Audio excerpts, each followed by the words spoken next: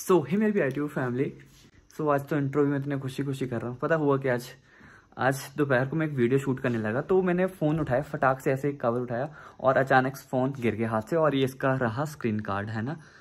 जिसको screen card या glass card glass भी बोलते हैं ना? तो अपने आईफोन का ये ग्लास टूटा ऊपर से और यहाँ पे इसमें दरार आ गई, है ना? जो बीच वाला है, इसमें सिर्फ़ यही था। फिर तो मैंने इसको कटाके कर दिया खुद ही, है ना? तो मैंने सोचा कि अंदर से स्क्रीन ना टूटी हो। तो मैंने इमीजिएटली इस कार्ड को निकाल दिया और फिर जब देखा तो फ़ोन अंदर स्क्रीन बाहर बिल्कुल सारी की सारी सेफ़ थी, है ना? तो फिर हुआ क्या? मतलब स्क्रीन तो सेफ़ है, चलो अच्छा हुआ। कार सौ, दो सौ रुपये का तो होता है, पड़ जाएगा।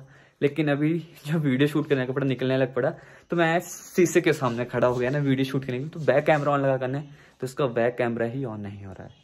तो ये हो गया इसके कड़ाचे ग्लास काट गया। बैक कैमरा हो गया इसका ऑफ़ तो मैं सोच रहा था इसको ठीक कहाँ करवाएँ जाके, है ना? क्योंकि हमारे यहाँ पे एप्पल का कोई भी ऐसा स्टोर नहीं है जहाँ पे ये रिपेयर होते हैं, है ना? सभी कंफर्म करते हैं जाके किसी से मार्केट में कि कहाँ पे इसको ठीक करवा सकते हैं। अदरवाइज़ हमें मेन मार्केट जाना पड़ेगा हमीरपुर में। वहाँ पे ले जाना पड़ेगा इसको क्योंकि इसका बैक कैमरा ऑन नहीं हो रहा है। फ़ोन को रीसेट भी कर लिया स्विच ऑफ़ भी कर लिया लेकिन नहीं चल रहा। सो so, वीडियो बनाना अब मुश्किल हो जाएगा लेकिन फ्रंट कैमरा की क्वालिटी भी अच्छी है लेकिन बिना बैक कैमरा के थोड़ी कुछ करेंगे है ना?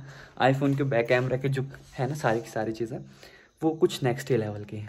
तो अभी इसको जाके हैं, करवाते हैं चेकआउट मार्केट में, कि क्या इसका सारा ये फंडा है और किस तरह से इसको ठीक करवा सकते हैं, क्या इतना खर्चा आएगा। खर्चा तो तगड़ा ही आने वाला है, जितना मुझे लगता है, क्योंकि फ़ोन बहुत ज़ोर से पड़ा था, नीचे से खटाच हुई थी। तभी भाई ग्लास कार्ड ऐसे टूटता नहीं, क्योंकि इसके ऊपर ऑलरेडी कवर लगाया है, डेढ़ हज़ार का तो थोड़ा सा होता है ना। सो अभी जिम निकलने से पहले करता हूँ मैं कन्फर्मेशन कि कहाँ पे ये हो सकता है ठीक। फिर इसको वहाँ ले जाते हैं अदरवाइज़ लंबा टूर पड़ गया इसको भी अब ठीक करवाने का। भगवान ज़िंदगी में देता रहता है टाइम है ना? देखते हैं कितना खर्चा इसके ऊपर आता है। फिर मैं आपको ये भी बताऊँगा कितना खर्चा उसके ऊपर आया क्या सारी चीज़ें रही है ना। सो so, चलते हैं अभी जिम के लिए। सो so, आज वीडियो बनाने से पहले ही शौक मिल गया। मुझे लगा आपके साथ ही ज़रूर शेयर करना चाहिए है ना?